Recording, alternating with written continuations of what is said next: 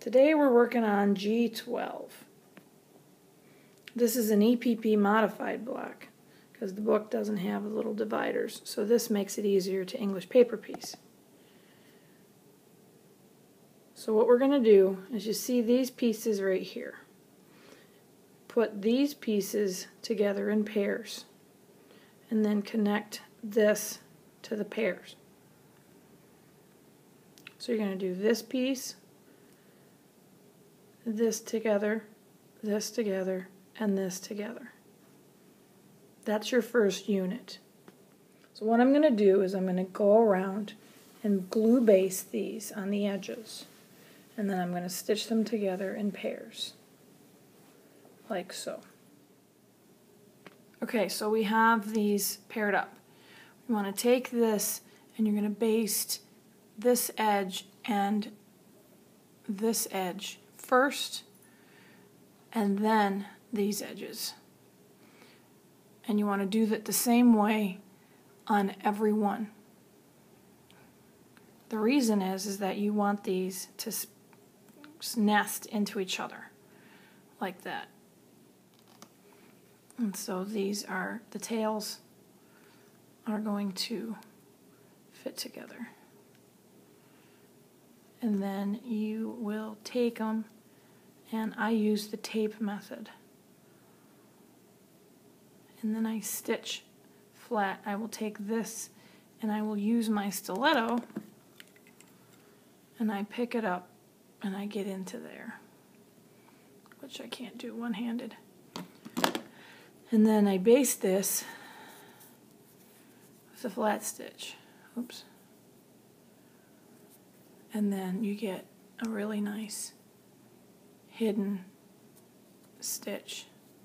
If you have a directional fabric, you want to make sure that you make it all one direction. What I like to do usually is if it's a stripe or something, I will make it so that it goes in each one so then you have this like radiation effect. Okay, so now I have my bits paired up and there are eight of these pieces. You got four right hand and four left hand, however you want to define it. So I'm going to take, this goes here. So I'm going to take all of them at the same time because the other ones go between the bits. So only work with the one shape avoid confusion.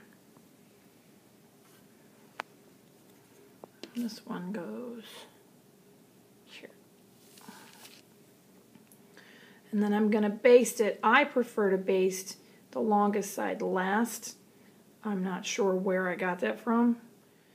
I like to have the long side last because that way the flag or the tag or whatever you want to call it folds away from it and you can get a nice crisp point. So I'm going to glue baste this and then I'm going to attach it to each one of these units. I decided to glue baste this way and this way. The reason is, is because that way you get a sharper point.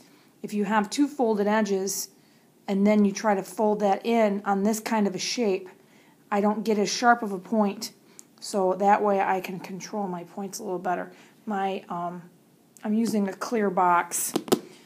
I carry all my stuff in it and then I can use it as my table so I got little glue bits all over the place here.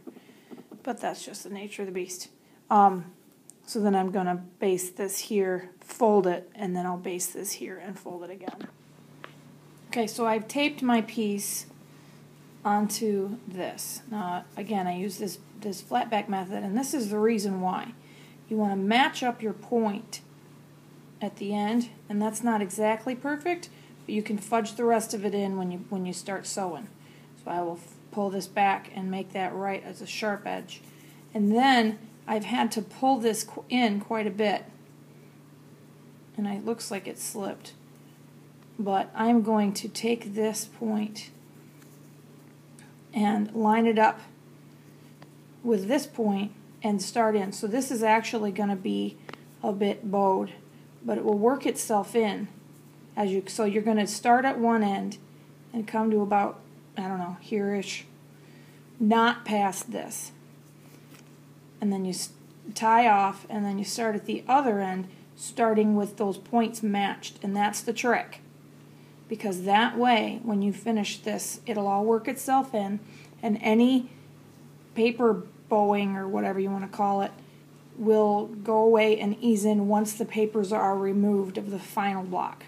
But you want to make sure that this is one big line so that when you attach the next bits, it's straight and the right size.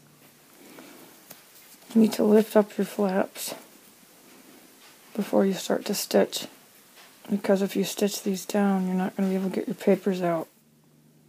So now I have all four of these units made. And what I'm going to do is I am going to connect them together. And so I've done that here. And what you want to do is you want to lift up your flap. And I take my stiletto and I peel that away.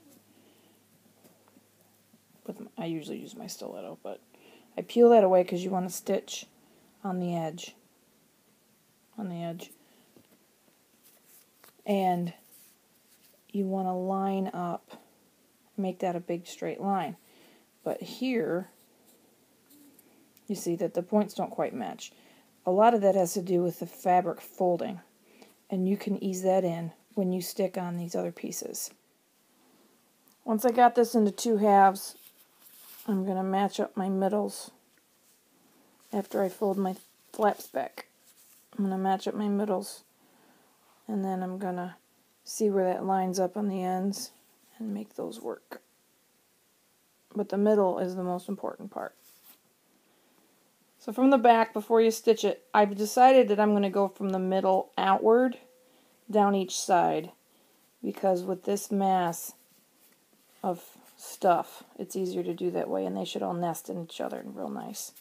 So I'm going to stitch down here onto the end and then I'm going to come back and start where the points meet there and stitch down to the end. Okay, so now I got the middles made and I got to put these pieces in. Instead of ending here, I'm going to start here so that I don't end up with a flap in the same location. So I'm going to do, I'm going to actually I'm going to baste here to here to here to here on each piece and then tape it into here and stitch it on. Okay, so now I got the whole middle of my block. And I got bits left. I got two sizes of this stuff. The longer pieces are what we're going to work on next. And then these are for the corners. And I'll set those aside. So I'm going to baste these. I'm going to put these sides down first. And then I'm going to put these down with the glue. And this is my last one. And then I'm going to attach them to the side. So this is different. Usually we have this part being bigger than this part, but in this case, the piece is bigger. And it's probably because of the way I assembled my points. So, what I'm going to do is I am going to tack this down on this end to about, about the thickness of my finger. And then I am going to stitch it from there to there. And it should be able to work it in. And we'll find out what happens. So I tacked down this side, it took up some of the issue, and then I'm going to sew the rest of this down. Alright, so I've stitched this, and now you can see that the edges are lined up just right for the corner additions. Okay, so I have this now done. I've pulled all the tags away from the edge, and I have the corner pieces left. These pieces I'm going to baste sides and then this part and this part last.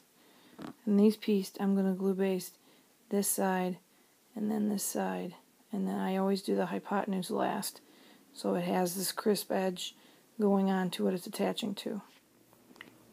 Okay, now my pieces are glue basted and I've taken them and connected them with my tape and then I'm going to stitch them together in corner bits and then I'll be able to take these corner bits and attach them.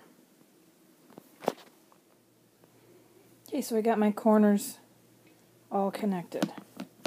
So now I'm going to connect these to my main block. I'm going to tape these here And I've got this one just loosely taped. And so then I'm going to start at one end and I took this past the first piece into the second and then I went back to the other side and I'm working my way to the middle. This guarantees, well, there's never any guarantees, but this helps keep this aligned on either side and then you can work it in in the middle. So now that the corners are connected, you have a completed G12 block.